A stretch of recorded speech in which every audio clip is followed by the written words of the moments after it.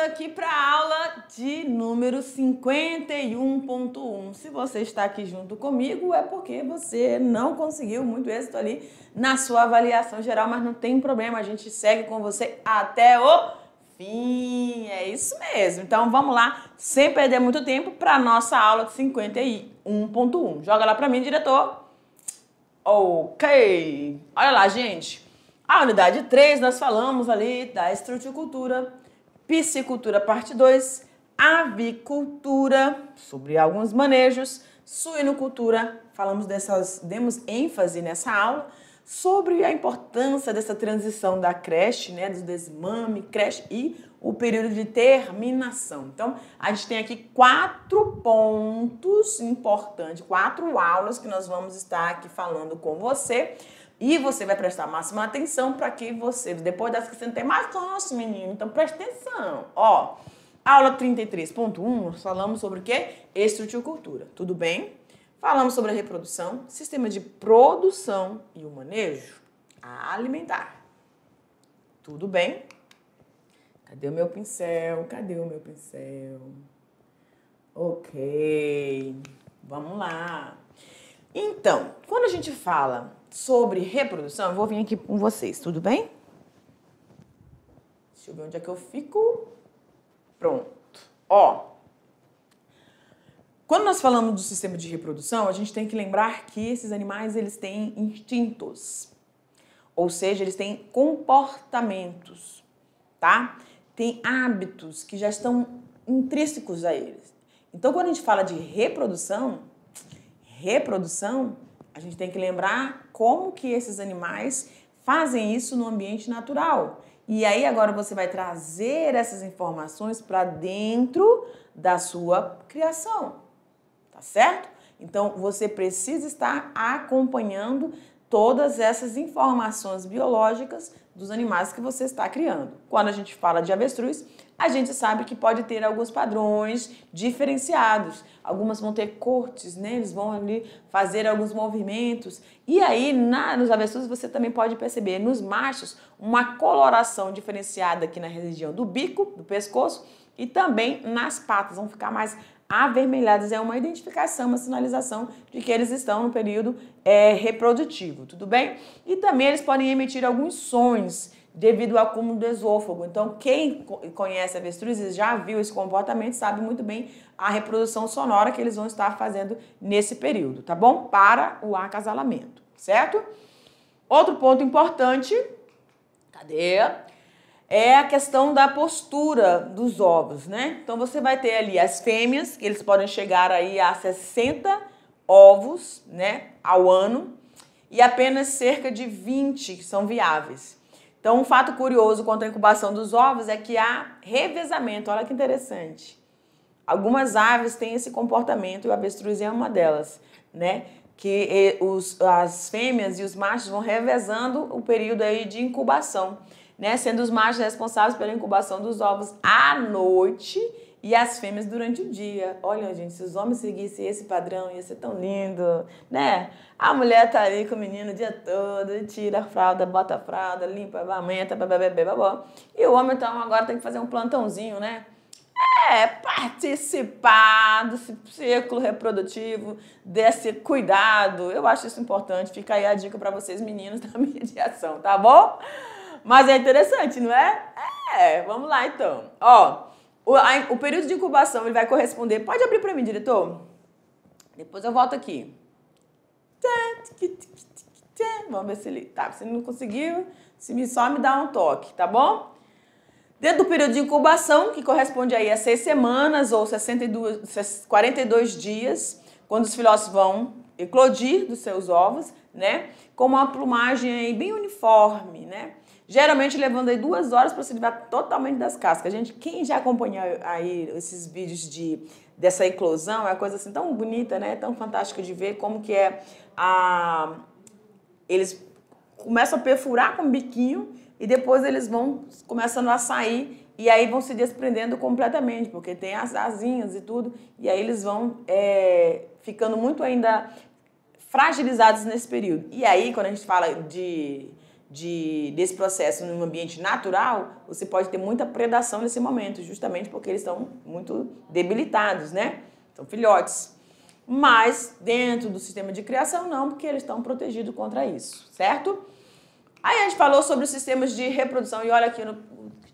Vamos correr, vamos correr. Ele está dando uma dica aí pra gente, vamos correr também.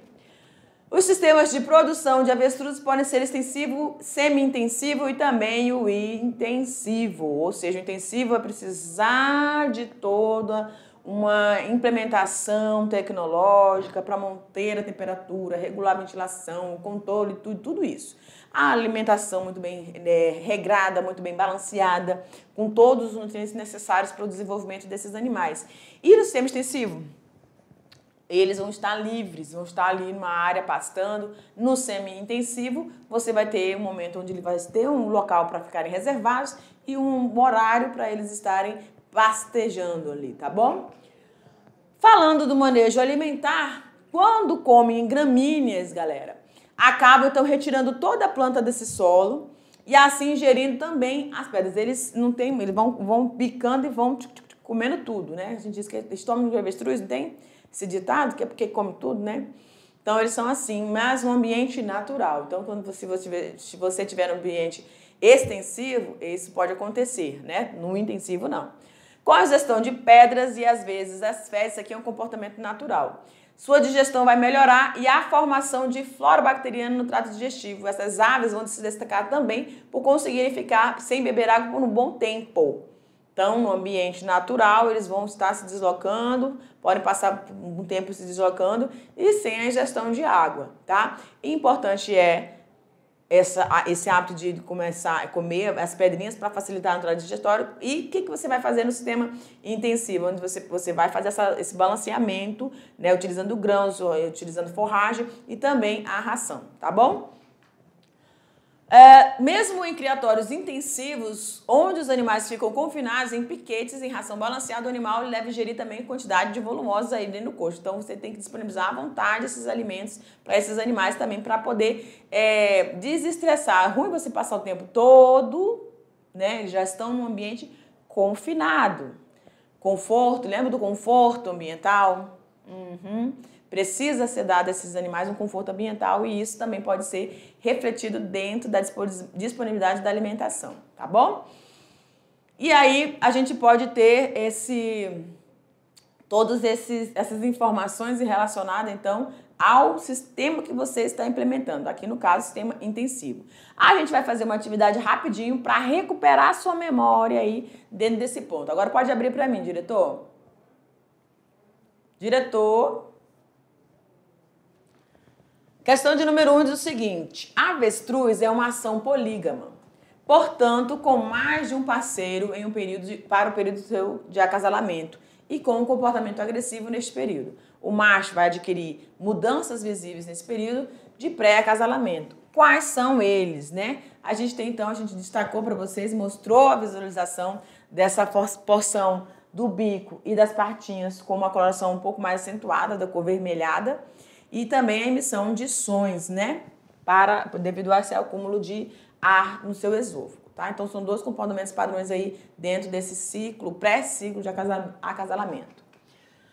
Na aula 36.1, nós falamos de piscicultura, reprodução artificial e o manejo reprodutivo. Então, quando a gente fala da, do manejo artificial, da reprodução artificial, a gente está falando de induções hormonais realizadas tanto no macho quanto nas fêmeas. Só que você precisa padronizar de tal forma que a extrusão desses gametas seja o mais próximo possível para você poder fazer, permitir o encontro desses gametas no ambiente externo, né? Então, olha lá. Procedimento comum, né, é a indução através do, do extrato hipofisário das carpas, e aí você vai fazer a injeção aplicação de duas injeções nas fêmeas, né? E lembrando que você vai sempre comparar isso com a, o peso desse, desses animais. Então, as fêmeas aí é de 5 miligramas por quilo, tá? Dessa fêmea.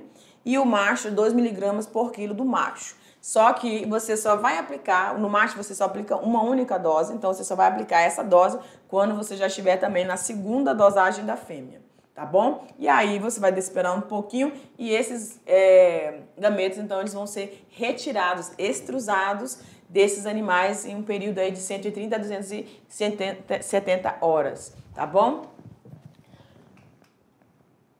Aqui a gente mostrando o processo, procedimento de extrusão. Então, cada fêmea produz em torno de 10% do seu peso vivo só de óvulos, gente. É muita coisa, tá? E aí eles vão ser hidratados e aí vão passar para o processo de fertilização. Outra atividade aí para a gente recuperar dentro desse conteúdo. Então, questão de número 2 é o seguinte: para aquisição das células reprodutivas das matrizes na, reprodu na reprodução de peixes, é muito comum o processo de indução. Cite o nome do extrato, ó, tá tranquilo, né? Utilizado nesse procedimento. A. Extrato tireoide de carpa, extrato hipofisário de lambari, extrato hipofisário de carpa, extrato linfático de salmão, extrato de endócrino de tucunaré. Pá, pá, pá, não é tucunaré, também não é salmão, nós não falamos deles, não é de lambari, então a gente só poderia ficar aí com A ou a C. Porém, a gente sabe que é o extrato hipofisário de carpa, gabarito letra C. Continuando aqui, aula 39, avicultura, manejos sanitário e alimentar, a gente falou da importância de, da manutenção, da higienização dos ambientes de onde eles vão comer e beber água, tá? Sempre muito bem lavados, é, verificar se quando eles vão fazer essa, essa ingestão da água, pode ser que eles é, danifiquem. Então você tem que observar se está ainda saindo água, né? Verificar todos esses comportamentos. Isso quando eles estão aqui, quando eles estão no momento mais é, saindo, estão mais desenvolvidos e aqui quando eles estão pintalhada mesmo, né? Os pintinhos muito jovens. E aí você tem é, distinções de como você vai disponibilizar a água e a comida para esses animais. Então você vai ter a ração aqui nesses ambientes e a água ali para poder é, eles estarem é, se alimentando, tá bom? E a, é, ingerindo água, opa. Importante é na fase inicial, que a gente chama de cria, esse círculo de proteção, que ele começa muito pequenininho, para permitir uma, uma adaptação é, desses animais, tá? Como eles são muito jovens, eles, eles têm uma dificuldade para fazer o reconhecimento dessa área e, principalmente, identificar onde tem água e tem bebida, é, comida. Então, a partir do momento que você percebeu que eles já estão fazendo isso com, com, de forma satisfatória, você vai ampliando esse ciclo até pegar todo o galpão, tá bom? Nesse momento também é importante, nessa fase de cria, é importante você estar fazendo o procedimento de debicagem, que é retirada, né, desse do bico na parte superior e inferior para esses animais terem um bico como se fosse uma pazinha e dificultarem é, ou não permitir que eles façam seleção de grãos. Então eles vão obtendo a mesma quantidade e a mesma padronização e ganhando peso ao mesmo tempo que você tem que buscar a uniformização é, desse lote, tá bom? E também é, esse procedimento vai evitar alguns comportamentos como canibalismo e a minimização também da, do efeito da hierarquia social desse lote e vai melhorar a viabilidade do plantel, tá bom? Que isso aqui, essa imagem baixa, quando eles você não, não tira, não faz esse procedimento de bicagem, pode acontecer isso. Terrível, né? Ah, na fase de recria, que dá, vai da sétima semana à décima sétima. Nesta fase é realizado as pesagens semanais durante toda essa fase, que deve é, definir um dia para realizar sempre no mesmo horário, porque isso não causar um estresse na ave. Você vai estar manipulando, pegando ela, colocando ela na balança, medindo ela todos os dias da semana. É, semanalmente. Então, pode isso causar um estresse. Então, a pessoa que vai fazer isso é, normalmente tem que ser uma pessoa só, em, em, algumas situações pode mudar, mas é ideal que seja uma pessoa. Não use nada de, de perfume, nada muito. para poder não causar estranheza para esses animais, tá bom? Tudo bem, tranquilo. A hora de recuperar novamente, a gente tem aqui mais uma questão de número 3. O procedimento de debicagem divide-se em duas etapas. Esquematize identificando o procedimento de debicagem. Então, a gente já viu que a debicagem é aquela retirada do biquinho, mas só que tem uma padronização né, dessas etapas. Na primeira fase, é realizado entre o sétimo e o décimo dias de idade, tá? A segunda fase, então, você vai tirar aí um terço da parte superior e um quarto da parte inferior. E na segunda fase você vai tirar dois terços aí é, da, quando ele estiver aí com 10 a 12 semanas. Tudo bem? A última, eu acredito que seja a última aula, a aula 43.1, suinocultura creche terminação. O como importante é que você acompanhe esse procedimento de forma a também evitar o estresse desses animais e permitir o maior conforto possível, porque eles vão ser desmamados, eles vão estar saindo do alimento líquido para o alimento sólido.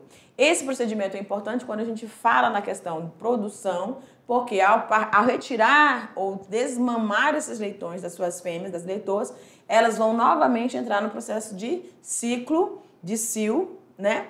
E aí vão podem ser novamente é, fecundadas tá? Para poder novamente entrar no estado de gestação. E aí você tem um ritmo dentro da sua, ou fluxo contínuo aí da sua produção e otimiza também os espaços que estão sendo é, utilizados dentro da sua criação, pra, acompanhando cada fase, cada lote e a remessa para serem é, retirados. E aí dentro da creche, um, um ponto de observação importante é essa temperatura, essa regulação da temperatura, é, o comportamento, observar sempre o comportamento desses animais e se tiver ah, alguns com diarreia, você vai suspender a ração para todos, né? Uh, a temperatura é muito importante. Você está vendo que há uma diminuição. Você começa com a temperatura um pouco mais elevada, depois ela vai diminuindo com o desenvolvimento de idade desses animais, os dias que se passam, né? Aqui a importância do local onde eles vão fazer a defecação, o local onde eles vão comer e a temperatura, né, é, para gerar esse movimento de aquecimento desses animais. É importante também observar como que eles estão se distribuindo em relação a essa, assim como os pintinhos, em relação a essa fonte de energia, né, de luz. Aí, no, no, na terminação, você tem aí uma equalização desses lotes com a categoria de peso, a temperatura já vai estar bem mais baixa, tá? É, para permitir aí um ambiente que não tenha é, estresse, né, a nível de temperatura para esses animais, e eles vão só comendo e engordando ali, tá bom? Uma outra questão, questão de número 4, diz o seguinte: na creche, após o desmame, é muito importante realizarmos algumas observações referentes aos cuidados com os filhotes. Cite as observações que devemos ter nesse período. O que é que eu preciso ter máxima de atenção na creche? A gente falou aqui, destacou várias vezes. Controle da temperatura. A regulação da temperatura é muito importante para esses animais, porque eles saíram ali da cheio da mãe e agora estão ali no local com outros indivíduos, né? Não só com seus irmãozinhos dali, estão com outros indivíduos. Eles muitos podem ter se separado dos seus da sua da mesma cria ali da mesma mãe, né? Da mesma leitoa então, devido a essa equalização né, dos lotes, podem ser separados né, os, os irmãozinhos ali. Monitoramento, então, do, do, comportamento desses animais, se eles estão se alimentando bem, se eles estão com algum comportamento agressivo, ou pode identificar algum estresse, ou se estão se isolando, né? Pode também ser acometidos de alguma enfermidade. E a questão da diarreia aí e a suspensão dessa... e a suspensão da, da ração para que não haja problemas em relação a isso. Galera, então a gente vai finalizando aqui a nossa revisão de recuperação. Foram quatro aulas aí que nós separamos para esse momento e eu sei, tenho certeza que você vai se sair muito bem, tá bom? Calma, concentração, você estudou, você fez toda a sua parte e agora você vai colocar toda essa compreensão dessas informações na sua provinha, tudo bem? Prof. Tabita, professor Jefferson, desejando para você uma excelente prova. E ó, nós finalizamos aqui a NBAZ do primeiro ano, deixando um abraço muito grande para todos vocês, tá? Nós nos veremos aí no segundo ano, se Deus permitir. E ó, beijo grande para vocês, sucesso sempre, tá bom? Tchau, tchau.